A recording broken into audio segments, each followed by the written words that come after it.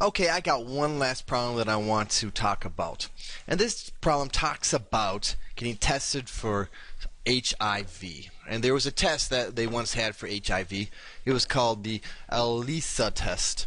And this is how a, a test kind of works. So, so let's say we have the ELISA test is used to screen donated blood for the presence of HIV antibodies. Okay, so if they find the antibodies in your bloodstream, then it's telling them that oh, if the antibodies are there, you have HIV. Okay, so when HIV antibodies are present in the blood test, also gives a positive result 98% of the time. Okay. That's important information. And when, HIV antibodies are not present in the blood test, also actually still can give you a positive result.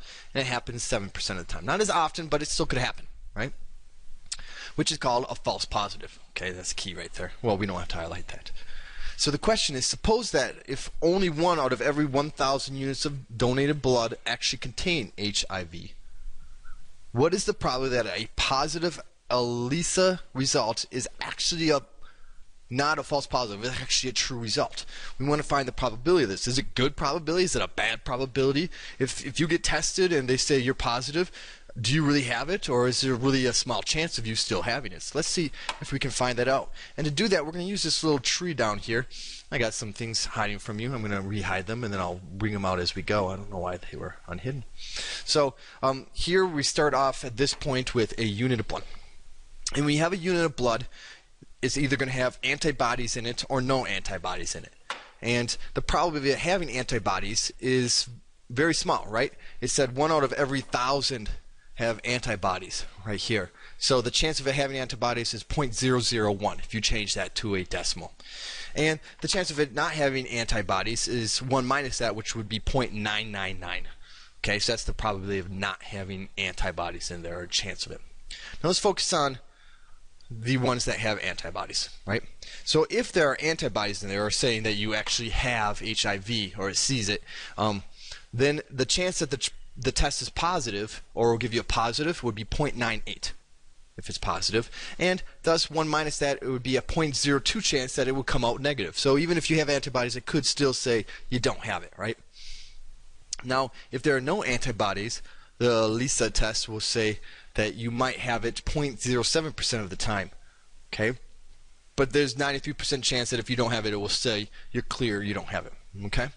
Now, we want to figure out the probability if you have antibodies and it gives you positive, what's the chance of that happening? Now, that's the probability of B and A. And just to figure that out, you just take this and you multiply it by that to get to the end result.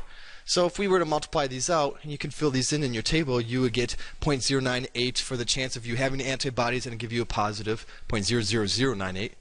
For the chance of you having antibodies and it being negative, the chance of that is 0.00002. If you don't have antibodies but it gives you a positive the chance of that having is 0.06993. And lastly, if you don't have antibodies and it gives you a negative, the chance of that having is that's the highest, 0.92907. Okay. Now remember the question that we had up here is I'm going to re-highlight that. Let's do it purple. What is the probability that a positive ELISA results is accurate? We want to know what's the probability of that happening. So we need to just focus on the positives. Given it's positive, right? Given that is positive, this one said it was positive, and this one said it was positive. What's the probability it's accurate? Well, so what we need to do is we're going to take these two positives. This is like our focus. Our we add these two together. So given that it's positive, we'll put that down here. So we got 0.06993 plus 0.00098. What's the probability that it's actually HIV? Well, that would just be this. This this has antibodies right here, and it gives you a positive. The probability of that happening is 0.00098, so 0.00098. So given it's positive, what's the probability? This is what we have to put in our graphing or in our calculator. So let's just put that in there to figure out the chance of this happening. So we got 0.00098 divided by, and we're going to put this bottom part in parentheses, 0.06993 plus 0.0098. close those parentheses off and see what we get. So, well, that's small. Okay. So this is actually equal to 0.013, which is actually 1.3%. Okay?